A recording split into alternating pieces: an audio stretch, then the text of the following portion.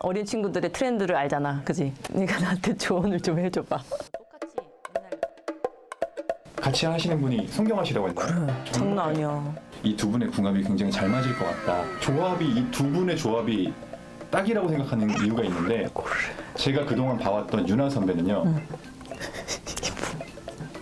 이론가예요. 학구파고 이론가예요. 아 그러냐? 항상 책상 앞에서 아 맞아. 책을 펴놓고 공부를 하고 맞아.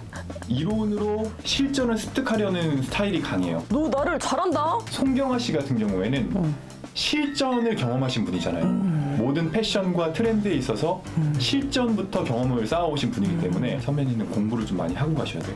그러니까 쫄려. 항상 높은 구두를 착용하고 계세요. 안 그래도 내가 원래는 7, 8cm 이상 안, 신었, 안 신었거든? 근데 언니들이 한다고 하니까 15cm를 사야 될 것 같아. 사실 선배님도 최근에 다이어트를 좀 시도하는 거 제가 많이 봤는데 그날까지 다이어트에 성공하셔가지고 과감하게 그러니까 나 내 보이는 게딱 요만큼밖에 없어. 어깨까지는 밑에 위야 다안 돼. 딱 그 정도까지는 가장 자신 있는 부분을 그래? 성경아 씨 앞에서 보여주되 이윤아 선배님 파이팅! 파이팅! 파이팅! 할수 있다! 진짜 내가 그래도 뱃살만 빼면 그치, 괜찮지 않을까? 마세요. 이 사람들 그럼 다 뱃살 벨만 쳐다봐요. 아 그래?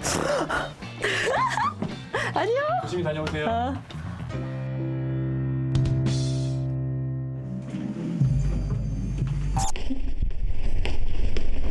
아. 아직 안 오셨죠? 어, 이제 한번 도착하시면 돼요. 네. 조심 조심해. 조심.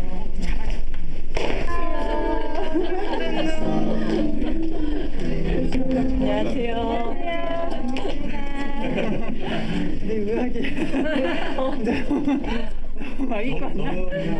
어, 범상치 않으신데?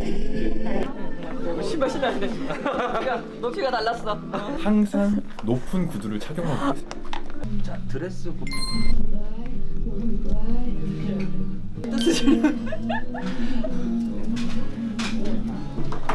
삘안 보이지? 썼어.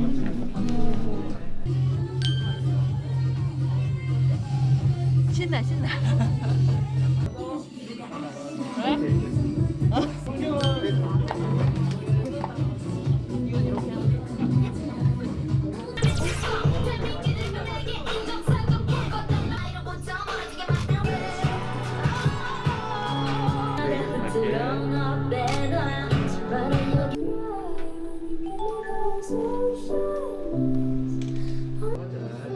저는 언니를 보고 배우고 있어요.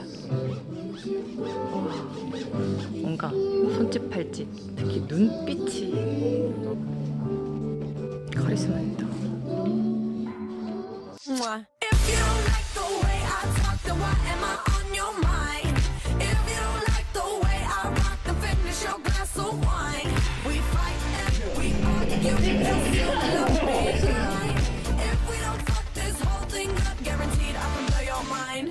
And tonight I'm alive in a dollar sign, guaranteed I can blow your mind. Tonight I'm alive in a dollar sign, guaranteed I can blow your mind.